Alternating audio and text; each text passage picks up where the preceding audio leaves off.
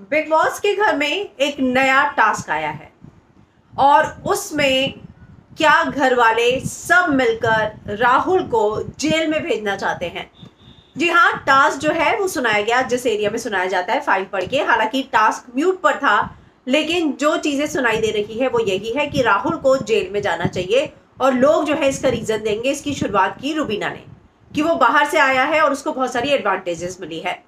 तो जेल में जाने के लिए क्या रीजन होना चाहिए? मुझे लगता है बिग बॉस ने ये कहा है कि किसको सबसे ज़्यादा एडवांटेज मिली है, उन दो सदस्यों को जेल में डाला जाएगा। शायद तीन लोगों के नाम दिए गए हैं या आपसी सहमति से हो रहा है, क्योंकि आधा टास्क जो है आप सभी जानते हैं कि म्यूट पर होता है। तो ऐसे में रुबीना ने ये शुरुआत की कि राहुल वैद्य को सबसे ज़्यादा एडवांटेज मिला है। वो बाहर से जाकर आया है, उसको मेंटली सपोर्ट मिला है, सब कुछ मिला है, और इसीलिए उसको जेल में जाना चाहिए। अभिनव ने उसको एग्री किया है। हालाँकि अली जो है इसको अगेंस्ट बोलता हुआ नज़र आया उसने राहुल का साथ दिया, एजाज ने भी रुबीना अभिनव का साथ दिया।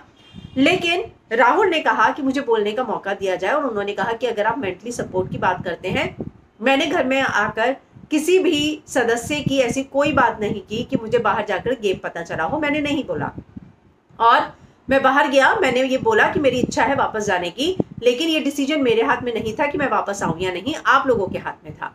और इतना ही नहीं, उन्होंने ये भी कहा कि अली और जासमिन साथ में है, रुबीना अभिनव साथ में है, इन लोगों को भी तो मेंटल सपोर्ट मिला है। अगर यहाँ पे किसी को मेंटल सपोर्ट नहीं मिला है तो वो है सिर्फ़ और सिर्फ़ एजाज खान।